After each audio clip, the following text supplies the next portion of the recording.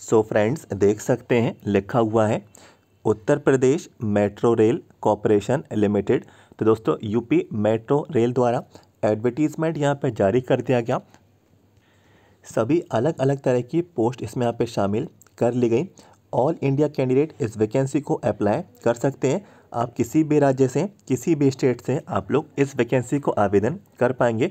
इसके लिए आप लोगों को ऑनलाइन एप्लीकेशन फॉर्म आपको फिल करना होगा। तो बिल्कुल टाइम वेस्ट नहीं करते हैं, सीधे से बढ़ जाते हैं इन्फॉर्मेशन की ओर। सबसे पहले दोस्तों कौन कौन सी पोस्ट इसमें आप पे शामिल की गई? ये जानकारी हम लोग इसमें आप पे डिस्कस करेंगे। तो देखिए, सबसे पहली पोस्ट है असिस्टेंट मैनेजर सिविल डिपार्टमेंट में। सैलरी आपको इतनी मिलेगी, इसमें सोलह पद हैं। सभी कैटेगरीज को मिला के सोलह पद हैं।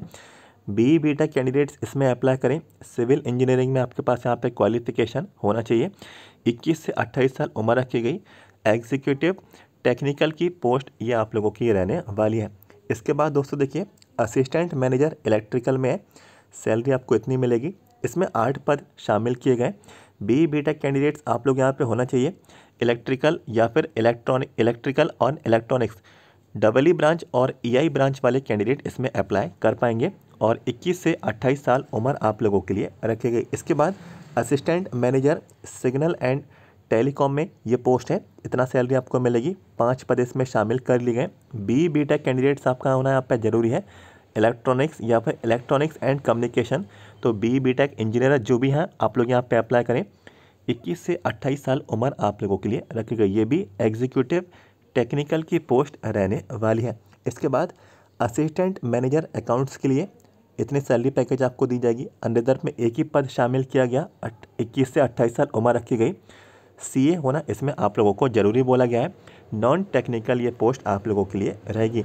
इसके बाद दोस्तों देखिए नॉन एग्जीक्यूटिव कैटेगरी की पोस्ट भी अलग से इसमें शामिल की गई। तो बिल्कुल देख सकते हैं जूनियर इंजीनियर सिविल के इसमें तैंतालीस पद शामिल कर लिए गए। जूनियर इंजीनियर के उनचास फोर्टी नाइन पद इसमें शामिल किए गए। Junior engineer signal and telecom के भी पद इसमें शामिल किए गए। सत्रह पद ये रहेंगे। जो भी आपकी क्वालिफिकेशन है, सब में तीन साल का आप लोगों से डिप्लोमा मांगा जा रहा है। जो भी पोस्ट यहाँ पे शामिल की गई, इसी से संबंधित आपकी क्वालिफिकेशन रहना चाहिए। तीन वर्ष का आपका डिप्लोमा रहना चाहिए। सभी के लिए एज लिमिट कॉमन है, इक्कीस से अट्ठाईस साल और यहाँ पे मेडिकल स्टैंडर्ड भी आपको बता दिया गया इसके बाद अकाउंट असिस्टेंट की पोस्ट है, इसमें दो पद हैं। बीकॉम कैंडिडेट इसमें अप्लाई करें। ऑफ़िस असिस्टेंट की पोस्ट है, इसमें एक पद है। तीन या फिर चार वर्ष का आपको ग्रेजुएशन कोर्स आप लोगों को इसमें चाहिए और 21 से 28 साल उम्र रखी गई सी वन मेडिकल स्टैंडर्ड आप लोगों के लिए रहेगा। तो दोस्तों, इसके लिए आप लोगों को अप्लाई करना है और इसका एग्ज़ाम आप लोगों का आयोजित कराया जाएगा।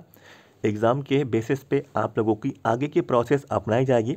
अप्लाई किस तरीके से करना है, इसकी वेबसाइट क्या रहेगी तो देखिए, लिखा है online registration will start from. तो ऑनलाइन आवेदन करना है तो एक नवंबर से आप लोग ऑनलाइन एप्लीकेशन फॉर्म फिल करेंगे। और लास्ट डेट भी आप लोग यहाँ पे देख लें, तीस नवंबर 2022 तो करीब करीब तीस दिनों का समय आप लोगों को दिया जा रहा। फिर आपको एडमिट कार्ड रिलीज़ होंगे, इसकी डेट आपको बता दी गई। और एग्ज़ाम की डेट भी आपको बता दी गई है। और इन तारीखों पे आप लोगों का एग्ज़ाम लिया जाएगा। तो दोस्तों, यदि आपके पास क्वालिफिकेशन है, आप लोग अप्लाई करें। ऑल इंडिया कैंडिडेट इसमें अप्लाई कर सकते हैं। ये अपडेट कैसा लगा, ज़रूर बताएँ। सबसे पहले वीडियो को लाइक कर दें। चैनल को भी सब्सक्राइब करके ज़रूर रखना। आगे और भी अपडेट्स आपको मिलते रहेंगे। वीडियो के नीचे जाएँ। सब्सक्राइब के राइट बटन को आप पे क्लिक करें। हर अपडेट वैकेंसी का इसी तरीके से आगे भी पाते रहें। तो मिलते हैं आपसे अगले वीडियो में। Thank you so much